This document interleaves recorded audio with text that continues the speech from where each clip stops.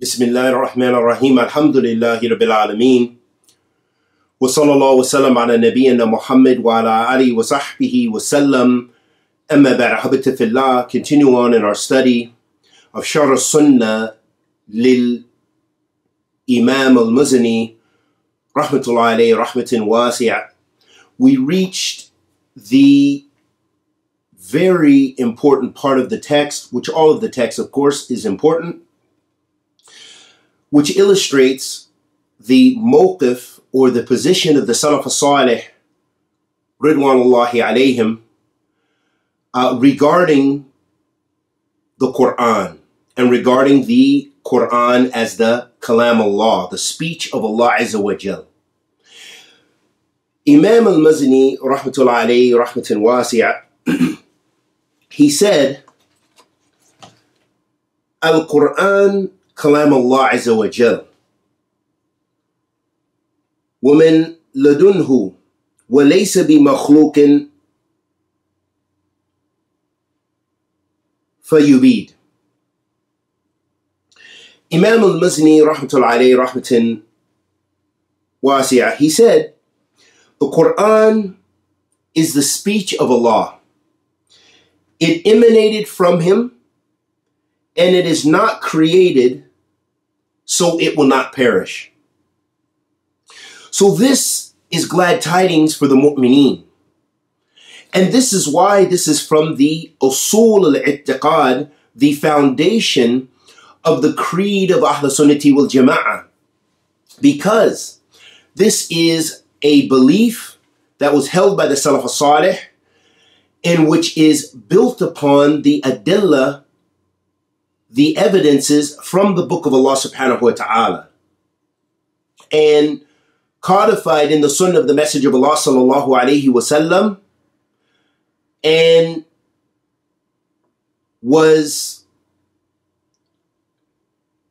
compiled and understood as a principle of creed by the Salaf of this ummah. So Imam Muzani, he said, and the Quran is the speech of Allah. The Quran, Kalam Allah. The Quran is the speech of Allah Azza wa Jal. It came from Him, Tabarak wa Ta'ala, and it is not created, and it will not perish. Imam Ahmed al-Najmi, rahmatullahi rahmatin he mentioned, he said, "Will Quran kalam Allah, minhu bada, wa ilayhi ya'ud." Have he aqidah ahl sunnati wal jama'ah? يعتقدون أن القرآن كلام الله وأنه محفوظ من تحريف والنقص والزيادة وأنه سيبقى So Imam Ahmed, he mentioned here, he said the Quran is the speech of Allah. So we're going to see now, what are the implications of this? What does that mean?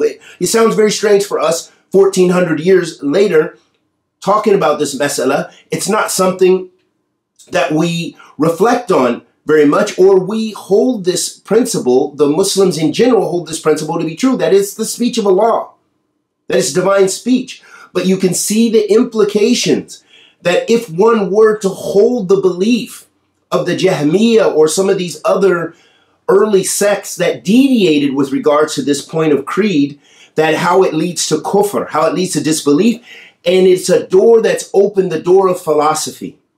It is the door that Ahl Kalam opened, and then they're unable to close it because it has so many reprehensible implications by holding that that the Quran is not the speech of Allah or that it is uh, tampered with, as some of the Shia reject. They reject that it's it's the uh, perfect, uh, perfect divine speech of Allah subhanahu wa ta'ala and some of the other sects. So you see the danger when you negate that this is the speech of Allah and when you say that it's created. We're going to talk about those implications in detail as we deal with this mas'ala, uh, this very important issue. So he said, the Quran is the speech of Allah. From him it began, and to him it shall return. He said, this is the creed of Ahl Sunnati wal Jama'ah. They believe that the Quran is the speech of Allah and that it is it has been memorized and protected. Uh, from what? From tahrif, from being uh, uh, being distorted and being uh, being tampered with. Okay, as we say with the, the books of the, the, the Christians and the Jews. Wanaks was ziyada, and that it is protected from someone adding to it or someone taking from it, meaning uh, cutting out verses, as some of those groups of uh, Ahl Kufr wa Zandaka believe. Wallahu musta'an. And then he said, وَأَنَّهُ يَبْقَى or وَأَنَّهُ سَيَبْقَى And it will remain. It will remain so. So then he says, فَإِذَا فَسَدَ النَّاسِ فِي آخر الزمان واقتربت الساعة حينئذ يسرى عليه فيسلب من المصاحف ومن صدور الرجال وذلك قبيل قيام الساعة Imam Ahmed al-Najmi rahmatullah alayhi, he said, you know, it will remain this, meaning the speech of Allah subhanahu wa ta'ala, and that it has been protected. And when the people become spoiled or when the people become wicked and evil in the when it comes closer to Yom Qiyamah, the day of judgment, and the Sa the Sa is coming closer, the hour will be established, the hour is, is close to being established, then at this time it will be removed from the hearts of men. Meaning the people will be ignorant. Ignorance will be widespread. And there's many several ahadith of the Prophet sallallahu alaihi wasallam which illustrate this point that in the end of time, there will, the, the ignorance will be widespread. People won't even know the meaning of La ilaha illallah. They will just say, we know, the only thing we know is that our fathers used to say, say this, this kalima. They won't even know anything about Allah Azza wa Jal. So that shows us that knowledge, as the Prophet ﷺ mentioned, and from the master of that knowledge, the, the, the origin of that knowledge is the Quran that will be removed from the hearts of men. It will be removed from the hearts of men, meaning ignorance will become widespread. And we see some of those signs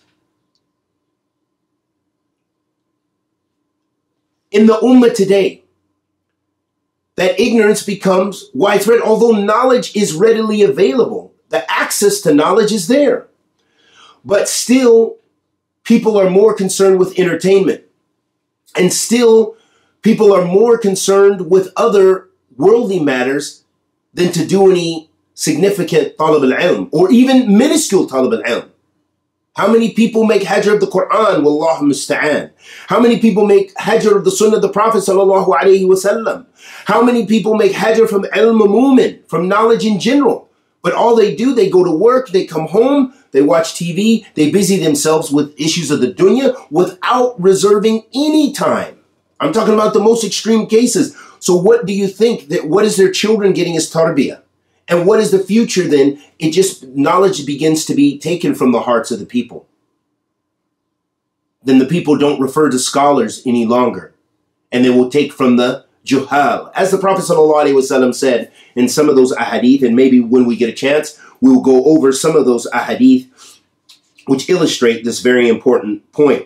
So these are signs of the day of Yom Qiyamah drawing near. It came in a hadith of the Messenger of Allah sallallahu alaihi wasallam the Prophet والسلام, said, ويسرى على الكتاب على كتاب الله عز وجل في ليلة فلا يبقى في الأرض منه آية So the Prophet والسلام, mentioned in a hadith أخرجه Ibn Majah من hadith uh, Hudayfa uh, and Imam al-Albani said it, declared it a sound uh, hadith in which the Messenger sallallahu alaihi wasallam said that the Quran will be removed in a night, and there will not remain on the earth an ayah.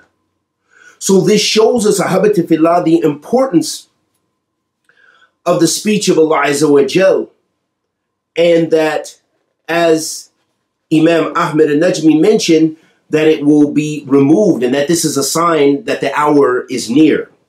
Imam Tahawi mentioned about this in his text, his famous text, the uh, Aqidah Tahawiyah, which is the uh, creed of Ahl Sunnati wal Jama'ah, and that Imam Abu Hanifa, and that even the Ahnaf, the Hanafi scholars of Ahl Sunnah, that they hold this to be to be uh, so, to be this that these points of creed are agreed upon upon Ahl Sunnah, regardless of what madhab and fiqh, what madhab and fiqh in those masail uh, far'iyya, or those furu', those uh, masail which have to deal with uh, mu'amalat, how we deal with one another, or the fiqh of ibadat, uh, uh, the fiqh of worship.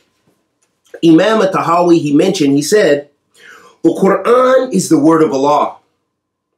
It originated from him without us being able to figure out the how of it, meaning the kayfiyah. A speech, he sent it down upon his messenger, sallallahu alaihi wasallam, a revelation. The believers declared true his avowal and felt assured that it was Allah's word and truth and not created words in the fashion of the words of created beings. Therefore, whoever heard, therefore, whoever heard it and it alleged that they are man's words, disbelieved. Allah has censored him, denounced him, and has promised him hellfire. He subhanahu wa ta'ala says, I shall fling him into saqar, meaning the hellfire. When he promised hellfire to the one who decried, this is nothing but the speech of a man. We know and felt assured that this is the speech of the creator of mankind and that the speech of mankind cannot resemble it. So here Imam Tahawi, rahmatullahi rahmatin is showing that this is the aqidah of Ahl Sunnati wal Jama'ah, that the Quran is the divine speech of Allah subhanahu wa ta'ala. It is uncreated, and it is from Him to wa ta'ala. And that Allah subhanahu wa ta'ala has promised hellfire for the one who claims otherwise. That this is something grievous to ascribe it to a man as the pagans did in the time of Rasulullah sallallahu wasallam, saying that this is uh, hadaqul al bashar, that this is a statement of, of, of a man. Okay, that, that how many claims against the Quran did they make, or that this is Muhammad's speech? This is just mere poetry. Hadaqul al sha'ir. This is just a, a statement of a sha'ir, of, of a poet. How many claims? But no, this is the speech of Allah subhanahu wa ta'ala. And it began with him because this is Allah subhanahu wa ta'ala's speech, meaning it's a characteristic that Allah subhanahu wa ta'ala has kalam. It is from his characteristic. This is the difference between Ahl Sunnah wa Ahl Bid'ah in this masala. So this is an important principle of the religion of Islam and, an issue over which many sects of Islam lost their way. Nevertheless, this is the truth, which anyone would conclude if he gave a serious thought to the subject with the evidence of the Quran and the Sunnah in his mind, applying plain logic and a straightforward thinking not affected by doubts, skepticism, and fanciful thoughts. Meaning that all of those things, the speculation of Ahl Bid'ah from the Mu'tazila and the Jahmiyyah and other groups who let philosophy, who let external beliefs enter into their aqidah and conjecture, debating, debating against the speech of Allah subhanahu wa ta'ala instead of accepting. Ahl Sunnah accepts the book in the Sunnah and believes in the book of the Sunnah. They don't without tahwil, wala tahrif. You know, not, not changing the meaning, not uh, changing the actual text, without distorting it, and without negating it. This is the, and, and without making resemblance, especially when it comes to sifat, the sifat of Allah subhanahu wa ta'ala, the divine uh, characteristics and attributes of Allah subhanahu wa ta'ala, And kalam is from that. And we're going to get to some of the adillah from the book of Allah with reg- uh, in regards to this. So as we said that this is the i'tiqad of the Mu'tazila, that they came up with this, this belief that the Quran uh, was created and that it's not from his sifat. Some of the evidences from the book of Allah subhanahu wa ta'ala showing that the Quran is uncreated and it is the speech of Allah subhanahu wa ta'ala. Allah subhanahu wa ta'ala says, في كتابه الكريم, وَكَلَّمَ اللَّهُ مُوسَى تَقْلِيمًا Allah subhanahu wa ta'ala says in Surah An-Nisa, and Allah has spoken to Musa, to Moses alayhi salatu wasalam, taklima. He's spoken to him subhanahu wa ta'ala. وقال تعالى في كتابه الكريم ولما جاء موسى لميقاتنا وكلمه ربه in Surah Al-A'raf Allah subhanahu wa ta'ala says في كتابه الكريم and when uh, Musa came to the appointed place and the spe- appointed time, His Lord spoke to him. Allah subhanahu wa ta'ala spoke to Musa. وقال تعالى وتلك وتلك رسول فضلنا بعضهم على بعض منهم من كلم الله In Surah Al-Baqarah, Allah subhanahu wa ta'ala says في كتاب الكريم And these are the messengers. We, uh, we favored some of them over others. From them are those who Allah spoke to. And Allah subhanahu wa ta'ala says في كتاب الكريم قال يا موسى إني أستفينك استفيتك على الناس على الناس برسالتي وبكلامي. Allah subhanahu wa ta'ala says in Surah Al-A'raf, say, Ya Musa, O Musa, verily we, uh, verily I have uh, chosen you over the people with my message and with my speech. So Allah subhanahu wa ta'ala, all of these are ithbat kalam Allah. These, all these ayat are evidences to show us that the Quran is the speech of Allah subhanahu wa ta'ala. وقال تعالى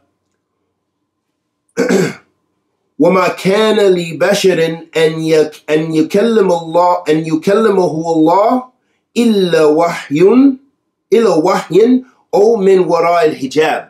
Allah subhanahu wa ta'ala says في كتاب الكريم in Surah Al-Shura, Allah subhanahu wa ta'ala says, and it was not befitting that Allah subhanahu wa ta'ala would speak to a Bashar unless it was as revelation and from behind a barrier or hijab.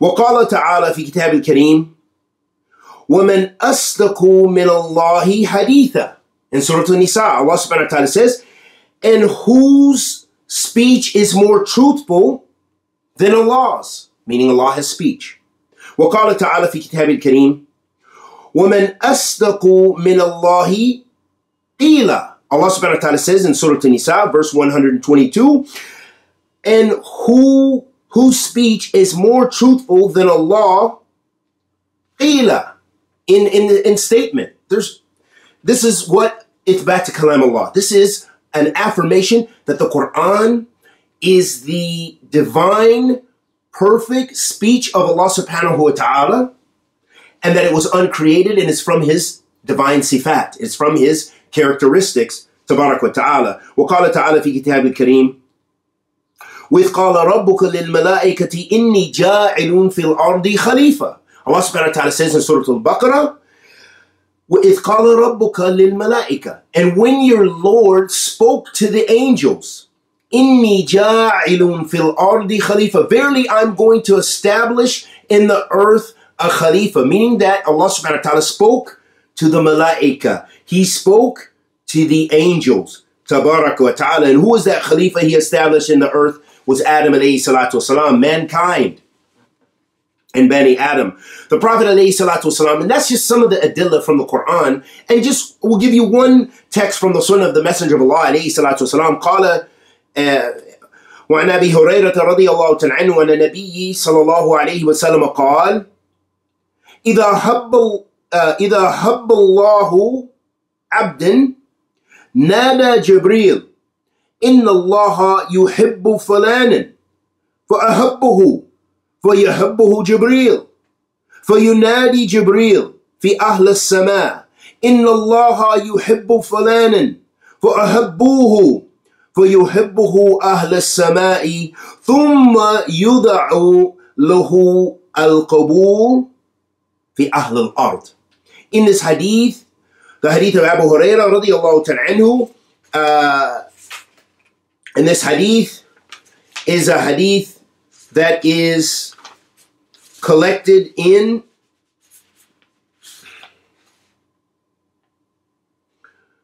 uh, this is in Bukhari, the hadith in Bukhari, Sahih al-Bukhari. The hadith of Abi Hurairah radiallahu ta'ala anhu, he said that the, uh, that the Messenger of Allah sallallahu alayhi wasallam said, if Allah loves a servant, he calls Jibril Meaning, this is ithbat al kalam. This is showing that Allah subhanahu wa ta'ala calls. Yunadi Jibreel. Onada Jibreel. He calls Jibreel. Oh, nada Jibreel, uh, yeah, nada Jibreel, that he calls Jibreel, inna Allah yuhibbu fulan. Verily, Allah loves so and so. So love him.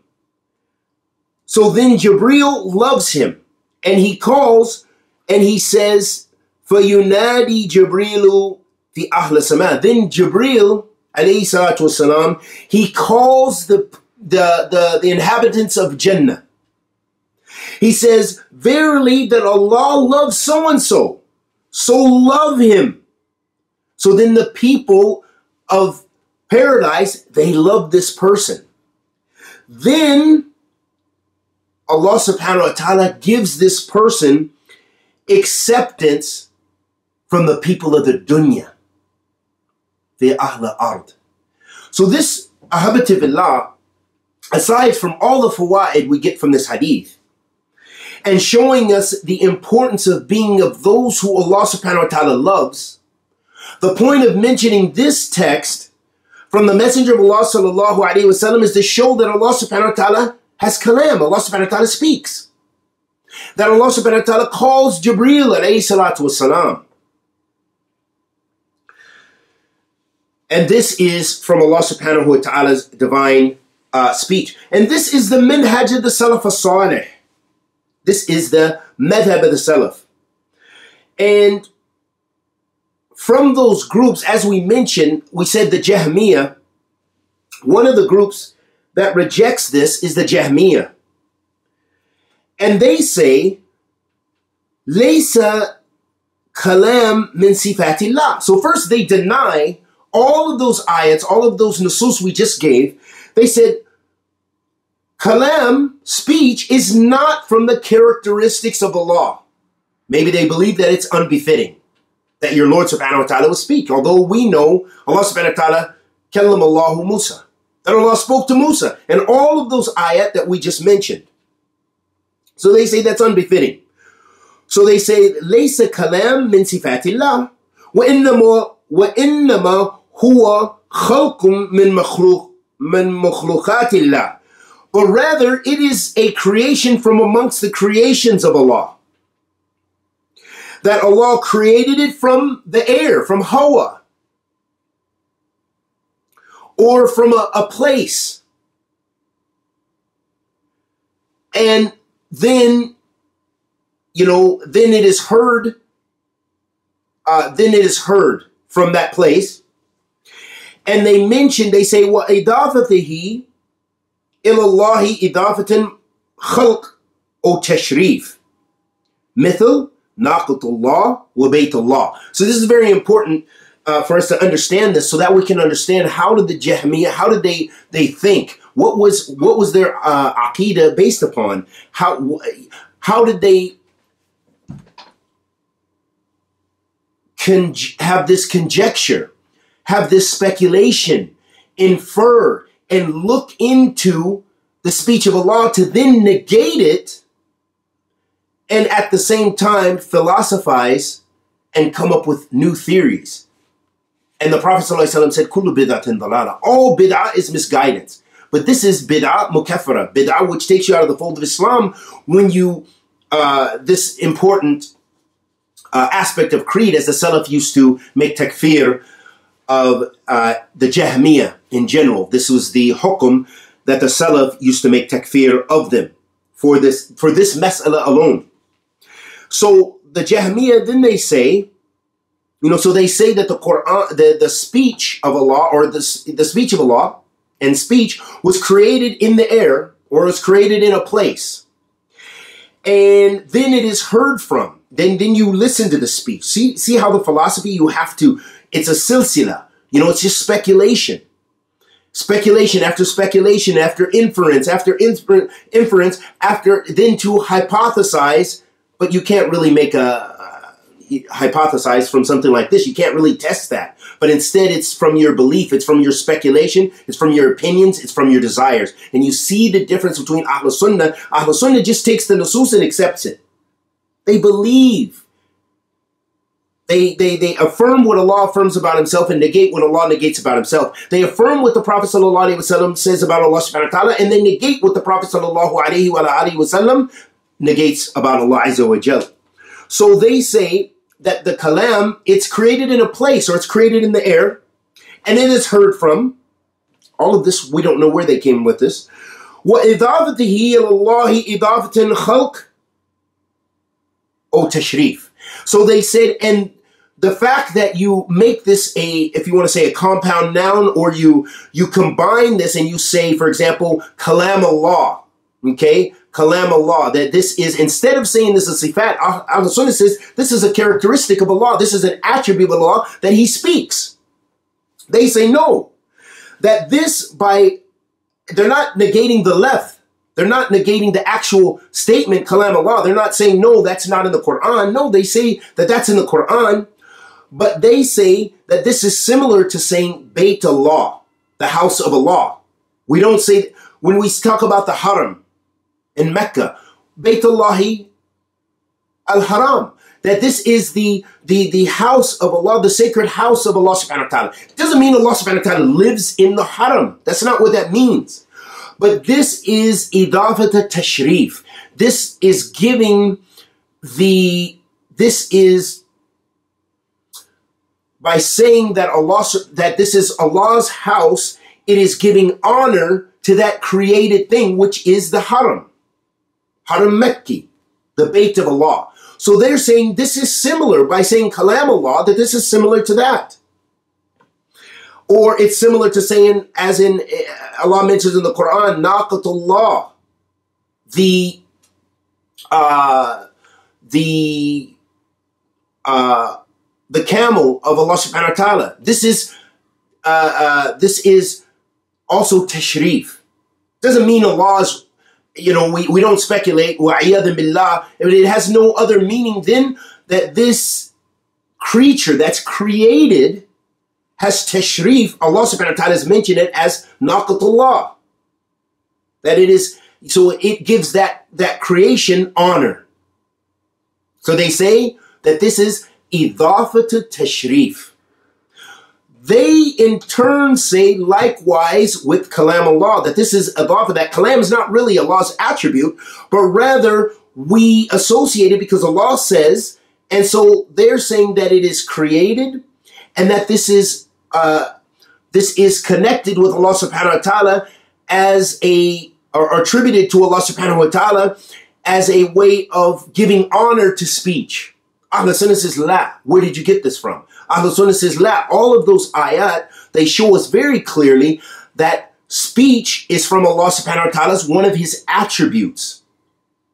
And all of his attributes, his divine attributes, this is the crux of the argument of the Salaf, are uncreated. This is a part of him, tabarak wa ta'ala. This is his sifat. These are his attributes that he subhanahu wa ta'ala speaks in a manner that suits his majesty whenever he, he, he chooses to speak and to whomever he chooses to speak. And we look at the adillah and we accept that adillah. We accept those evidences from the book and the sunnah. They say la, they say no, as we mentioned. And then the Asha'ira, they also have a, another argument, but I don't think it's necessary because we kind of prolonged it to necessarily go into all the arguments of all the people of desires who deviated and made deviated in this in this bab in this in this uh, regards to this mas'ala, this issue. This is a very important issue. But instead, it should suffice us to go with that evidence, the adillah that we mentioned, and to have this understanding of the Salaf Salih that this is the divine speech of Allah subhanahu wa ta'ala and that it was uncreated. The Prophet sallallahu alaihi wasallam used to make the dua and ordered us to make this dua before entering our homes. He sallallahu alaihi wasallam said, "A'udhu bi kalimatillahi tammat min sharri ma khalaq." I seek refuge. A'udhu bi kalimatillahi tammat. I seek refuge in the perfect speech of Allah from that which He, uh, from the evil of which He has created. So, from this dua of the Prophet wasallam, we see the affirmation of what? of the speech of Allah and seeking refuge in the speech of Allah subhanahu wa ta'ala. And you only seek refuge in what? In Allah subhanahu wa ta'ala and His divine attributes because those divine attributes are sifat of Allah. They are characteristics and attributes of Allah subhanahu wa ta'ala. And it's not permissible to seek refuge in the creation, to say, A'udhu bi, A'udhu bi min kitab, you know, I seek refuge in uh, I seek refuge in the book from uh, evil, or I seek refuge in the jinn, as the people before went astray in their kufr, in their shirk, because this is shirk. Because seeking refuge is a type of ibadah. When you are seeking refuge, and it is ubudiyah, seeking refuge in in in something to the extent that it has reached the level of ibadah that no one can help you except Allah. For example, you can seek, you can ask for help from someone.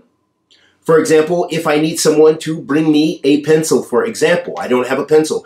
Can you please uh, bring me a pencil? I could say to that person who is a person who has the ability to do so. And this is a person who's present. I can't say that to someone who's not present or to the dead or to seek protection from them.